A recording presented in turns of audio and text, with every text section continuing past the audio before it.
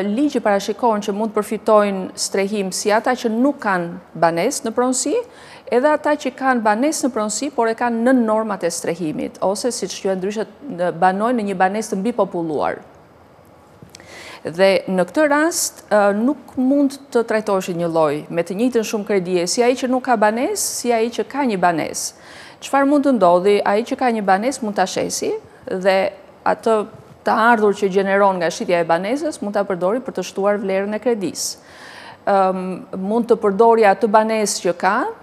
për të marrë një shumë kredie që nuk mund të jetë më e madhe se 60% e vlerës së banesës. Dhe kjo është arsyeja përse është bërë ky diferencim duke e kufizuar shumën e kredisë në mënyrë që të krijohet mundësia që ata nuk kanë banesë të jenë më shumë në numër dhe më shumë në, domethënë të kenë një përfitim më të madh.